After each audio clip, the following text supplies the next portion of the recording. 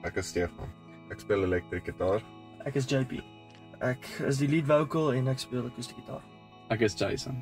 Um ek speel die bass gitaar. Ek is Arno. Ek speel drome. Ek is Jan. Ek speel klavier en pads.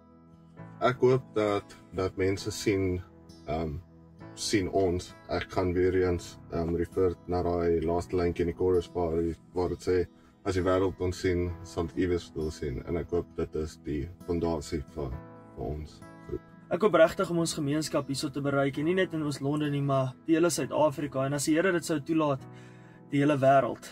Ons ons skryf liedjies nie net om te sing op 'n verhoog en musiek te maak nie, maar om regtig die hart van God oor te dra aan mense. Ons wil Bybelse konteks vat en dit actually in ons liedjies sit sodat mense nie net saam sing nie, maar ook leer daardeur. Ek dink dit is die hart van worship en ek dink dis die hart van van Midpoint Worship ook is om net die woord van God oor te dra in 'n ander manier.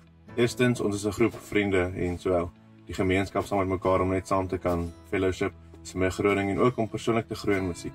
En ek dink die groot prentjie is nie ons nie, maar ons wil mense bereik en ons wil regtig 'n verskil maak in mense se lewens.